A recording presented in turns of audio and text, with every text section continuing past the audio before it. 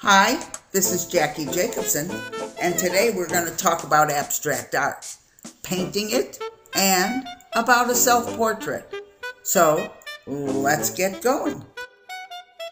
I use Corel Painter, but you can use traditional paint as well. I threw, dropped, splashed, and dragged the paint and the brush.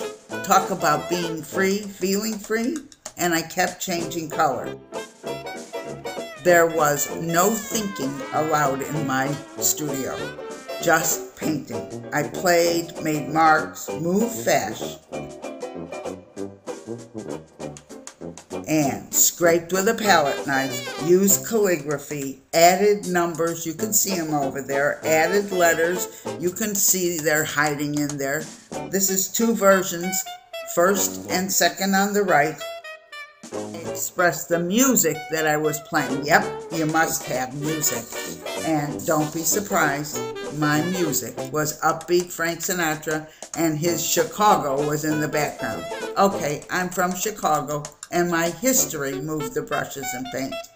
Every color was chosen randomly, again with no thought. And I only painted one hour per painting. No thought about the outcome, no thought about a product, just rhythm, color, movement, fun. And at the end of the hour, it was time for a break. Yep, see that cupcake? Or is it a muffin? Well, it's one or the other. It was waiting for me. And then back to the studio and on to another painting.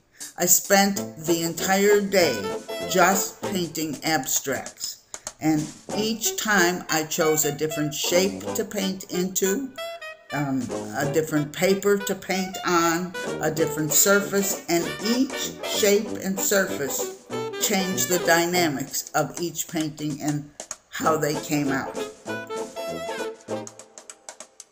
Here we go. And it's the next day and I'm back in the studio.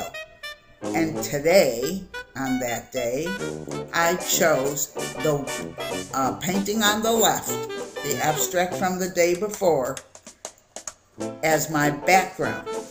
I loaded it into Corel Painter, grabbed a hand mirror in my left hand, a line drawing brush in my right hand. Sometimes I use a pen. Paint colors were to my right. I drew and painted what I saw in the mirror. And voila, I had a self-portrait. Now, my drawing and painting time was exactly 40 minutes. That's all I allowed myself, and I do lots of these. This is my favorite from that particular time. I love this project, and I think the best part is that it's all about abstract art. It's about the surface, the color fields, the action painting. So you can also do this project with tradi traditional tools and mediums so I encourage you to consider trying this project. Would you do it? Let's talk about it in the comments below. I want to hear what you think. Okay, that's it for now.